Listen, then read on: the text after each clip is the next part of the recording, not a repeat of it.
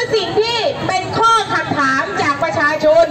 แล้วเราก็ยังตั้งคำถามกับสารรัฐธรรมนูญ พี่น้องคะพวกเรา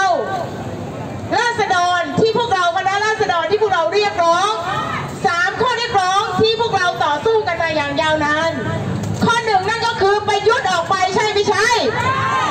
แต่วันนี้ประยุทธ์ก็ยังอยู่ พวกเราก็ยังจะต้องขับไล่ประยุทธ์ต่อไปอีกใช่เปล่าพวกเราจะไม่ย่อท้อเพราะว่าประเทศนี้เป็นของราษฎร ประเทศนี้ไม่ใช่ของศาลของบุคคลบุคคลใดบุคคลหนึ่ง พวกเราขอพิพากษาว่าประยุทธ์จันทร์โอชา นับตั้งแต่วันที่ 24 สิงหามาแล้ว พวกคุณเป็นนายกเถื่อน คณะรัฐมนตรีก็เถื่อนที่นั่งบริหารประเทศอยู่ในประเทศตอนนี้ พวกเราราษฎร ขอแถลงการจากราษฎรแล้วก็เครือข่าย กรณีสารรัฐธรรมนูญ วินิจฉัย อุ้มนายกเถื่อน พี่น้องประชาชนไทยทั้งหลาย บัดนี้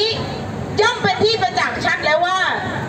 บรรดาองคาพยพทรราช เป็นต้นว่าสารรัฐธรรมนูญและรัฐบาล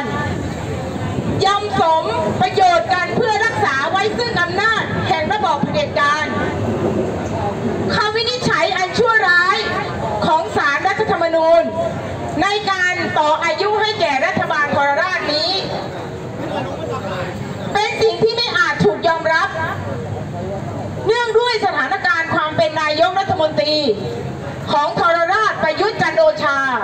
ย่อมขาดสิ้นลง นับตั้งแต่วันที่ 24 สิงหาคม 2565 ตามบทบัญญัติแห่งรัฐธรรมนูญ 2560 เราราษฎรขอประกาศยืนยันท่ามกลางพี่น้องประชาชนทั้งหลายว่า นับตั้งแต่วันที่ 24 สิงหาคม 2565ทรราชประยุทธ์จันโอชาผู้นี้ ได้มีสถานะเป็นนายกเถื่อน เป็นนายกนอกรัฐธรรมนูญอย่างสมบูรณ์ และคณะรัฐมนตรีที่ขึ้นต่อนายกเถื่อน ย่อมมีสถานะเป็นคณะรัฐมนตรีนอกกฎหมายมิใช่คณะรัฐมนตรีตามรัฐธรรมนูญปี 2560 แต่ประการใด การใช้อำนาจ การดำเนินนโยบายประกาศหรือคำสั่งใด ๆ ของคณะรัฐมนตรีชุดนี้ ย่อมปราศจากอำนาจรองรับตามกฎหมาย เราราษฎร ขอปฏิเสธความชอบธรรมในอำนาจทั้งปวงของคณะรัฐมนตรีชุดนี้ ทั้งนี้เพื่อเป็นการแสดงออกถึงการไม่ยอมรับสถานะนายกรัฐมนตรีของทรยะทรราชประยุทธ์จันโอชา เราราษฎร ขอเชิญชวนพี่น้องประชาชนชาวไทย ผู้เป็นปฏิปักษ์ต่อระบอบอำนาจนิยมทุกท่าน ทุกช่วงวัย ทุกจังหวัด ทุกความคิดเห็น ทุกความเชื่อ ร่วมกัน สวมชุดดำทั้งแผ่นดินเป็นเวลาหนึ่งสัปดาห์ ตั้งแต่วันที่ 1 ตุลาคม 2565 ถึงวันที่ 7 ตุลาคม 2565 เพื่อเป็นการไว้อาลัยใระบอบการเมือง และอนาคตของสังคมไทย ภายใต้การบริหารของนายกเขื่อนผู้นี้ และเป็นการแสดงออกโดยพร้อมเพรียงกันเพื่อยืนยันว่า ไม่มีแม้แต่สักตารางนิ้วในแผ่นดินไทย ที่ยอมรับระบอบชนชั้นนำอำนาจนิยมนี้อีกต่อไป พี่น้องประชาชนชาวไทยทั้งหลาย ในวันนี้ แม้บรรดาองคาพยพทรราชจะพยายามยื้อยุดกงล้อแห่งชะตากรรม เพื่อให้ทรราชประยุทธ์จันโอชายังคงอยู่ในอำนาจ และทำรงระบอบอันชั่วร้ายให้คงอยู่ แต่เราราษฎรขอยืนยันพี่น้องประชาชนทั้งหลายว่า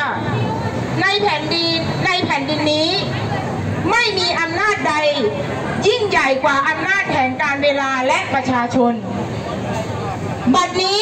สังคมการเมืองไทยได้เปลี่ยนแปลงไปอย่างไม่มีวันหวนกลับ และเป็นความจริงที่ว่าอำนาจของชนชั้นนำเผด็จการ ย่อมต้องเสื่อมสลายลงอย่างแน่แท้ ขอประชาชนทั้งหลายจงลุกขึ้น เพื่อร่วมกันทำให้การต่อสู้ของฝ่ายประชาธิปไตยเป็นวิถีชีวิต